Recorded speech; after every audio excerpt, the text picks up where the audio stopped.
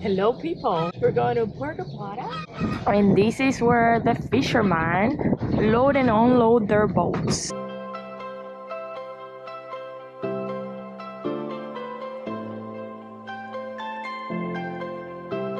This is a propane gas station for cars usually.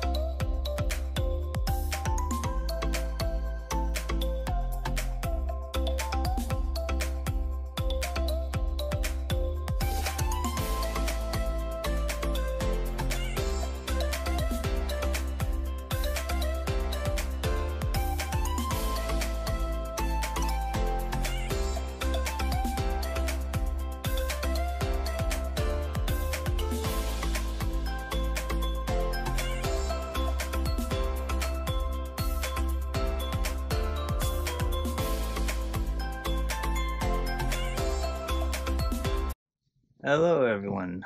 This is not going to be a long repair video, but I just want to give an update to our situation with our alternators not working and our raw water pump that we got a new one of.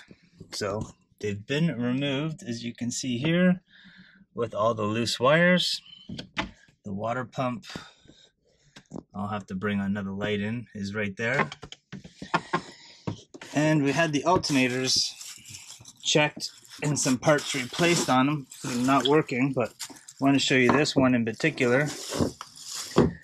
This one did not have a voltage regulator and they couldn't find one. Since we're in the Dominican Republic um, finding the proper parts for things is a definite issue.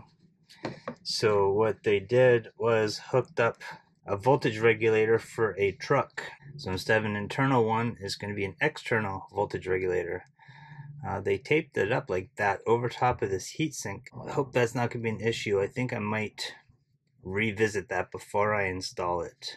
It's already been soldered together. I would have liked to put shrink wrap on that, but I'll make something work. So that's what we're going to be doing today. Grab a flashlight. I've already got the new pump started right there in the light. I just have to put the pulley on it and that will be then functioning. And I'm going to hook up the two alternators here, one at the top, one at the bottom. And then I'm going to make new grounding connectors that go to the engine mount is where they had them. I might use the same spot if I can get in there, but I want to get a better contact there with a better wire and better connectors. That's my project for today.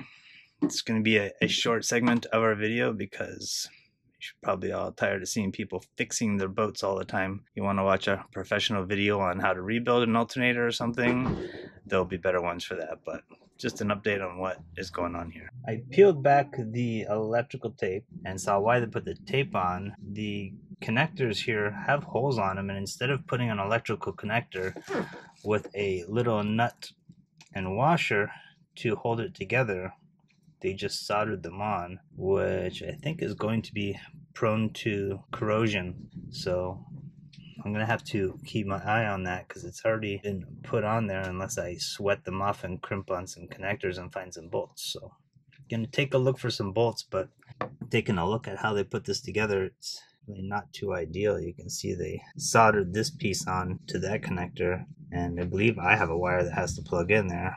And these are all soldered on. It's unfortunate. I would have liked to had connectors on there with some bolts. At least then it's removable when there's an issue with it. Okay, an update to what's going on. I installed the alternators according to the pictures that I took, so everything matches up exactly how I took it off because there's it's not just a negative and positive wire, there's like eight or nine wires back there, as you saw in the earlier clip. And once I put them back on, it was pretty easy to determine them because one has a big yellow label on the back, one doesn't. So I put the one with the yellow label on the top where it's supposed to go, and the other one on the bottom. Got all the bolts on and went to put the the belts on and the belts don't match because the pulleys were the wrong size. One has a large pulley, one has a smaller pulley, one has a higher capacity, one's a lower capacity. Looking back at my pictures I took before I took it off, realized that the whole orientation of how they came off, they can't go back on the same way. On the one, these bolt these bracket bolts were actually here and these bracket bolts were actually here. So they both somehow got turned 90 degrees or else the whole pulleys got switched or else the whole backs got switched. And I think they just switched the backs on them. So the one supposed to go on the top is now on the bottom and the one on the bottom has to go on the top. And then they soldered everything together.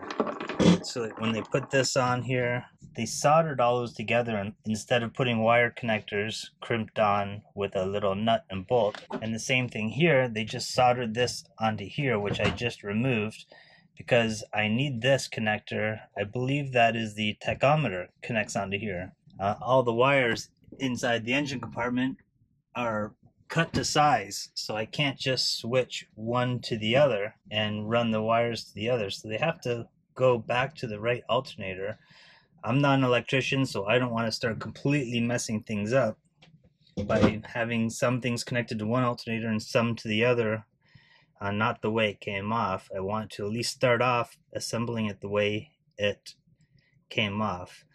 So I'm going to have to put a, a ring connector on here so that I free up this terminal again because I'm supposed to have a plug. There was also a plug on here, which is now on here because they switched this voltage controller or regulator to this voltage controller or regulator, however you word that, when they added this truck one.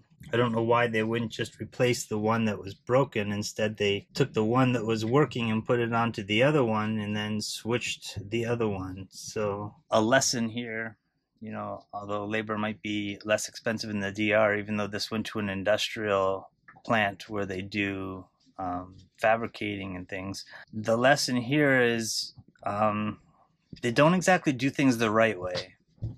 Instead of putting wire connectors crimped on with shrink wrap tubing and bolts and nuts to hold things together, they just quickly solder things on to the ring connectors and they just threw all the parts to one alternator to send that one back right away and then took whatever parts were left over on the other alternator and added parts to make that work. Although not the right parts, they said they're parts that will do the job.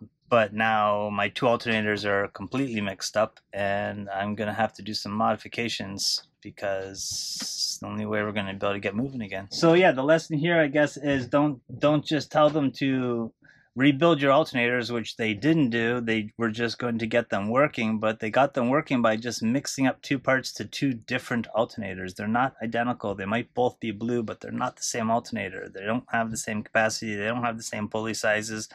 They don't have the same bracket orientation. They are both just blue. So yeah, I'm in a bit of a pickle.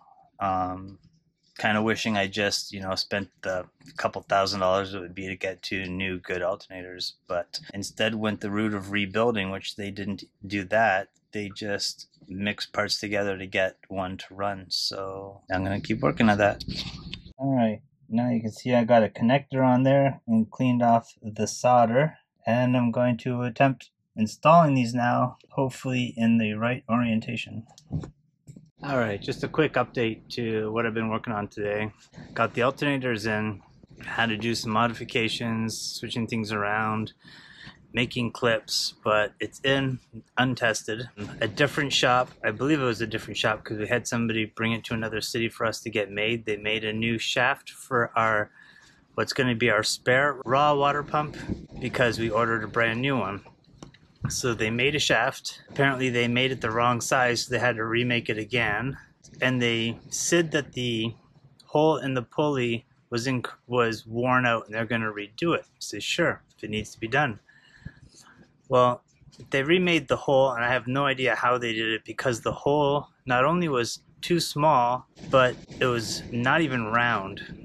So I just spent the last like two hours with a Dremel making the shaft able to fit inside of the pulley's hole where the keyway is. Had to cut the keyway with a hacksaw Dremel out the hole using a spare shaft, the old shaft that I have, tapping it in there to look for wear marks and see you know which where to grind because um, it wasn't a round hole. It was a warped shaped hole. Everything was too small. I mean, I guess better too small than too big because I can't make it smaller. But now when we put our spare pump on, it's going to be really sloppy because they also made the new shaft. The new shaft that they fabricated doesn't even fit in the pulley. And that's what we gave them to we gave them all the parts we had so they can put it together and make sure everything fits. But we get it all back, and not even the shaft fits in the keyway, which they made them both, and they made the shaft thicker by a half a millimeter than the keyway. So I had to take down about 0.6 of a millimeter off of the shaft. It's about like an inch deep of a hole. Had to grind down this 0.6 of a millimeter all the way around. So that's enough complaining. I got it done It was not a fun job. I thought it would be a nice, you know, I already paid to have the work done, just got to assemble everything today. Didn't turn out that way. I had to fabricate and modify everything that I sent away to be repaired. So I don't think I'm going to be doing that anymore here. I'll order new parts from other countries unless I find the miracle of a, a great machine shop. But I don't think I'm going to get any more trades to do any work if I don't have to because you know one guy did a refrigerator that works that's great but then the same guy bought two different things to two different shops and they just made a mess out of everything. Um, I wish I never had those other two jobs done. So that's it. Let's get back to some fun stuff.